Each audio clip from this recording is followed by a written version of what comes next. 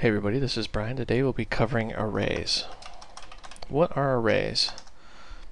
Arrays are a simple way of making groups of variables. Let's say you need to know the age of a couple people. We'll say int x equal 0. That's what you're used to. Let's back up a little bit here. Throw some brackets in there. And now say new int bracket, and let's say we want to know the age of three people. Now what have we done here? This looks kind of weird.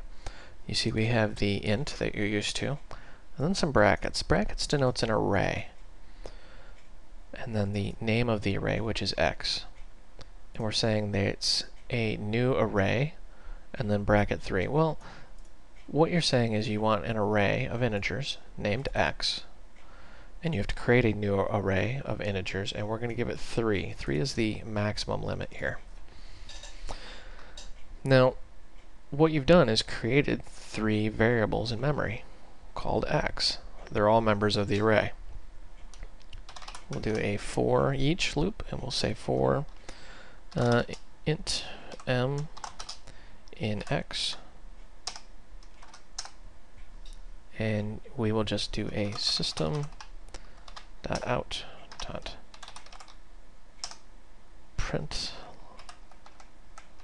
print line. This is kind of one of those do as I say and not as I, not as I do days. Alright, there we go. System out, print line. We're going to print m. So what we're going to say is for each integer in x, because remember x is an array that contains multiple integers, print it out. And you see we have three zeros. Why are they zeros? Well, you haven't done anything with these. For example, let's say you say x, and we'll say x2 and we'll say he's 45 years old.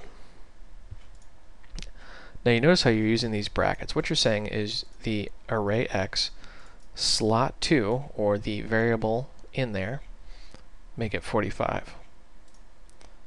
Now when you run this, you notice the third one is 45. Why is that? Well, arrays are zero based, meaning you always start with 0. This is 0, this is 1, this is 2.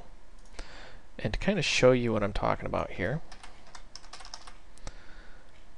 we'll say 0, 1, 2. So we'll say 0 is the youngest at 2 years old. 1, let's say 1 is 17 year old, and 2 is 45. You can see that 0 is 2, 1 is 17, and 3 is 45. And we're just looping through our array. Well, that's the basic array. I hope you found this video educational and entertaining, and thank you for watching.